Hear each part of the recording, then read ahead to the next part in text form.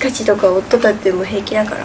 カチカチカチカチカチカチカチカチカチそれはうざいけどカチカチのカチねえもうこういうので笑いたくないってこれ出ると疲れるし笑い転げてはいおはようございます結構今朝です結構今朝ですちょっとね今回は2020年入ってからかな初めてナチュラルメイクをしていきたいと思います今結構寝起きなのでテンション低めなんですけどメイクしていきたいと思います。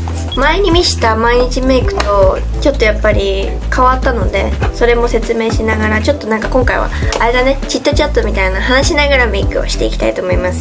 では早速やりましょう。あと5今私朝顔洗ってスキンケアしてるだけなので何もしてません。でまず最初にこちら。なんかさこのさ商品見せるのもいちいちさおしゃれな感じにしたいけどちょっとめんどくさいのでもうこれでいいわ。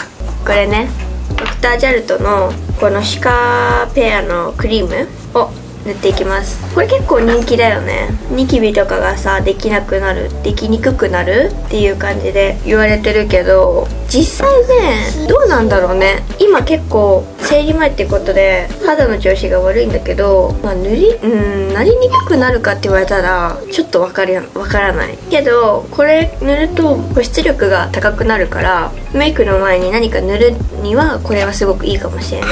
で私同じじゃドクタージャルトのこのねリカバリークリームも持ってるんだけどこれはもうめちゃくちゃ肌の調子が悪くてもうメイクするのもやめとこうみたいな時にこれを使ってます。これなんか不思議なんだけど中がね緑なの。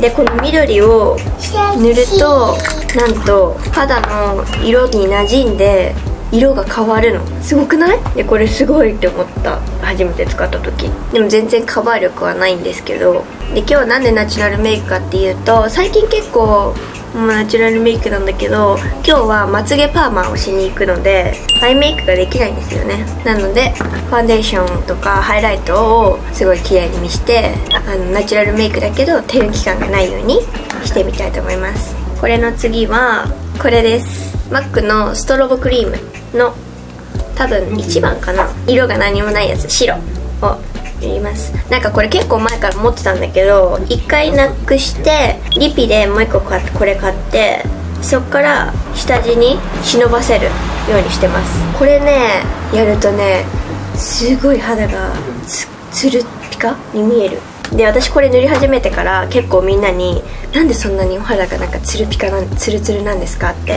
いうコメントいただいててやっぱりこれの効果かなって思います一番は。なんか意外とハイライトメイクし終わったメイクしん？ベース終わってファンデーション終わってからその上にハイライトやるよりも中にこうやって忍ばせた方が結構自然にもともと肌がツルツルの人みたいな感じに見えるのでおすすめです。もうね透明感がめちゃくちゃ出る。なんかハイライトってさやっぱさあハイライトつけてるなっていうのがよく見たら分かっちゃうじゃん。だけどこれはもう本当にいいです。なんか2回同じこと言ってるけど。はい。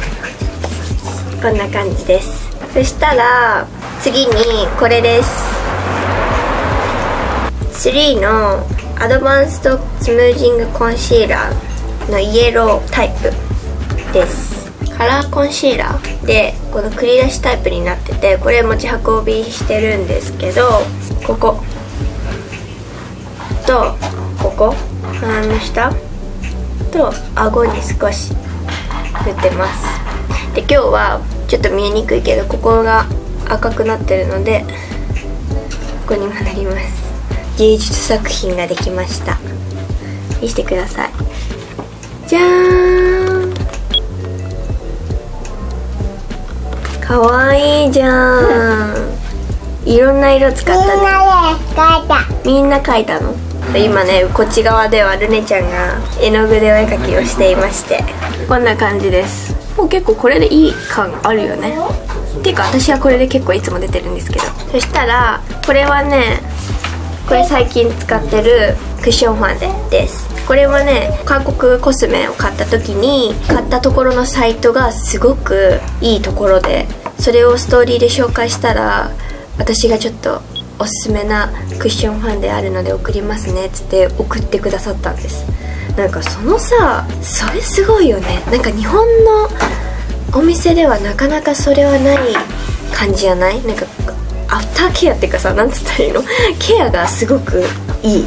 でもう絶対また次通いたいんだったらそこがいいって思うぐらいいいショップでした。次はそう眉毛結構私あるからアイメイクしないって言っても印象のないこの目をちょっとパッと見せたいのでアディクションのリキッドアイブロウを使って涙袋を作ります。目をこうした時にここに出てくる線を描きます。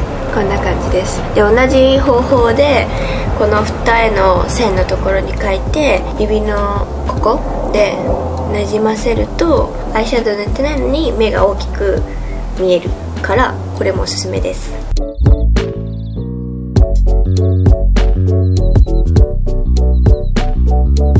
こんな感じです。で今日はまつげパーマしに行くので、えーマスカラはしないんですけどいつも使ってるマスカラはこれね不老不死のモテマスカラのえー、と3番かな？めちゃくちゃ細いやつ。こんな細いの。これを塗ってます。今日は塗りません。これでいつも大体出てるけど少し眉毛描きます。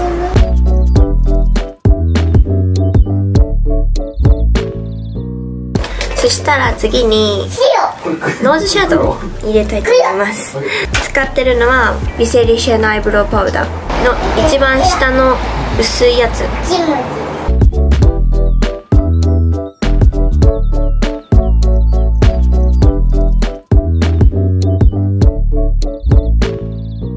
チークね最近ねあんまつけてないんですけどもしつけるとしたらこのバッグのミネラライズのウォームソール。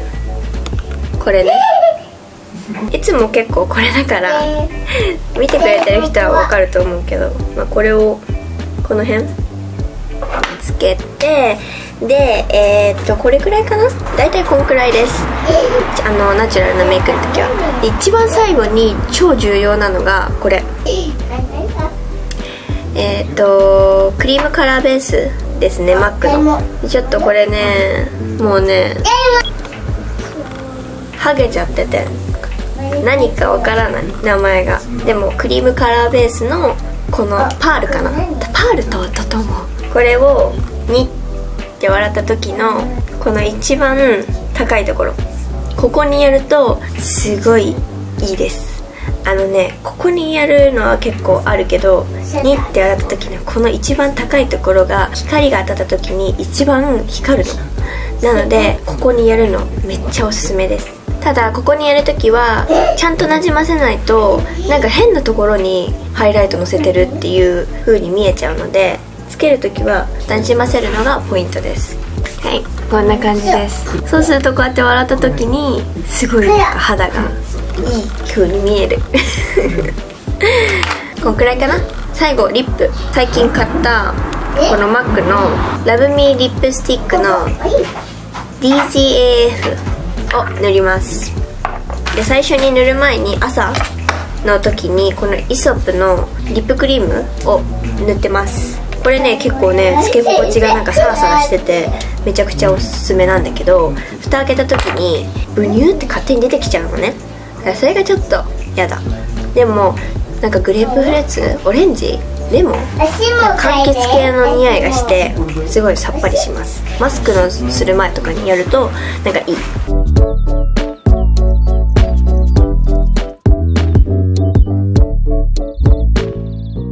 はいこんな感じです。完成！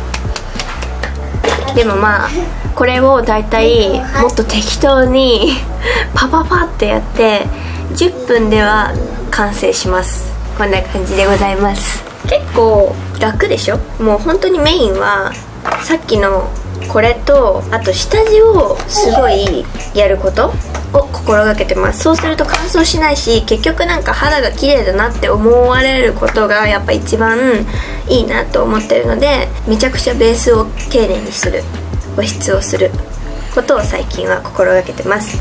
ではこんな感じで最近のメイク最近のメイクっていうかまあナチュラルな時のメイクですね。は以上になります。最後まで見てくれてありがとうございました。バイバーイ。